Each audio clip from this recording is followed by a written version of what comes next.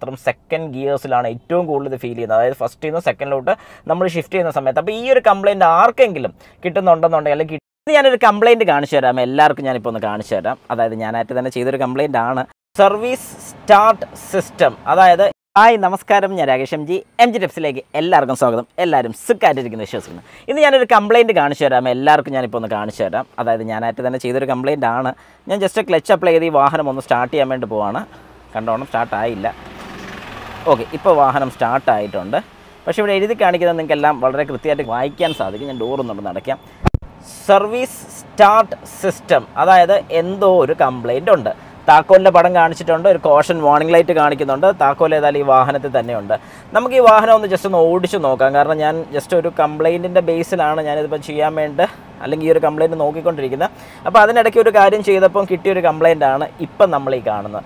ഏതായാലും ഈ വാഹനം ഞാൻ കുറച്ച് ദൂരം ഒന്ന് ഓടിച്ച് നോക്കട്ടെ. ഓടിച്ച് നോക്കിയിട്ട് ഞാൻ എന്റെ ഒരു ഡീറ്റെയിൽഡ് കാര്യം നിങ്ങൾക്ക് പറഞ്ഞു തരാം ഞാൻ ഈ വാഹനം ഓടിച്ചുകൊണ്ടിരിക്കുകയാണ് നിങ്ങൾക്ക് വ്യക്തമായിട്ട് കാണാൻ സാധിക്കും. നിങ്ങളൊന്ന് ശ്രദ്ധിച്ചോണം. ഇപ്പം ഞാൻ ഫോർത്ത് ഗിയറിലാണ് പൊയ്ക്കൊണ്ടിരിക്കുന്നത്. ഞാനിപ്പോൾ ഒന്ന് ഈ ഒരു സ്പീഡിൽ വന്നിട്ട് ക്ലച്ച് ഒന്ന് അപ്ലൈ ചെയ്ത് കഴിയുമ്പോൾ ആർ പി ഒന്ന് കയറുന്നുണ്ട് അപ്പോൾ ശരിക്കും പറഞ്ഞാൽ ഇങ്ങനെ ഒരു കംപ്ലയിന്റ് നിങ്ങൾക്ക് കാണിക്കുന്നുണ്ടെങ്കിൽ എന്തൊക്കെ കാര്യങ്ങൾ ചെക്ക് ചെയ്യണമെന്ന് ഞാൻ വളരെ വ്യക്തമായിട്ട് പറഞ്ഞുതരാം.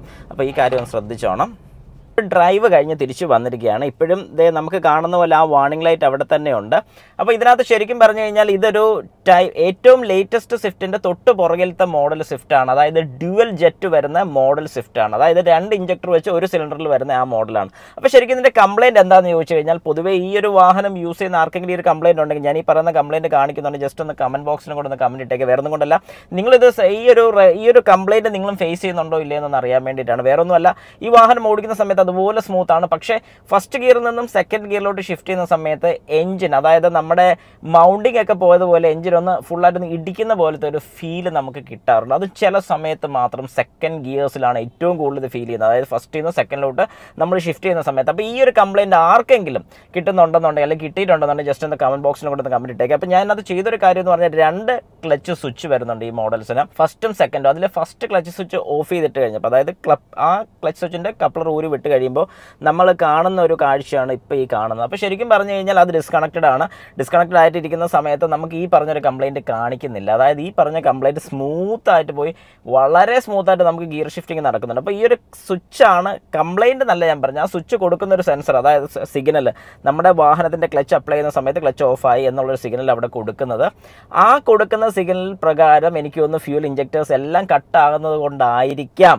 ചിലപ്പം ഈ പറയുന്നൊരു കംപ്ലയിന്റ് കാണിക്കുന്നത്. കംപ്ലയിന്റ് അല്ലായിരിക്കാം. പക്ഷേ എന്നാലും അങ്ങനെ ഒരു പ്രോബ്ലം കാണിക്കുന്നത് അപ്പോൾ അത് എനിക്കൊരു ഡൗട്ടാണ് ഞാൻ അതിനെക്കുറിച്ച് കുറച്ചുകൂടെ ഒന്ന് സ്റ്റഡി നടത്തിയിട്ട് എന്താണ് ഏതാണ് എന്ത് ചെയ്താൽ ഇത് മാറും എന്നുള്ളതിനെക്കുറിച്ച് ഒന്നുകൂടെ ഒന്ന് സ്റ്റഡി നടത്തിയിട്ട് ഇതിനെക്കുറിച്ചൊരു ഡീറ്റെയിൽ വീഡിയോ ചെയ്യുന്നതായിരിക്കും. അപ്പോൾ നിങ്ങൾക്ക് ആർക്കെങ്കിലും ഇതുപോലൊരു കംപ്ലയിന്റ് കാണിക്കുന്നുണ്ടെങ്കിൽ ഈ പറഞ്ഞ കാര്യം ശ്രദ്ധിച്ചോണം. ഇതുപോലൊരു വാർണിംഗ് ലൈറ്റ് കാണിക്കുന്നുണ്ടെങ്കിൽ കീ കാര്യങ്ങളൊക്കെ ചെക്ക് ചെയ്യുന്നതിന് മുമ്പ് ഈ പറഞ്ഞ പോലെ സ്വിച്ചസോ കാര്യങ്ങളൊക്കെ എന്തെങ്കിലും പ്രശ്നമുണ്ടോ എന്നും കൂടെ ഒന്ന് കൺഫേം ആക്കുന്ന ഏറ്റവും നല്ലതായിരിക്കും.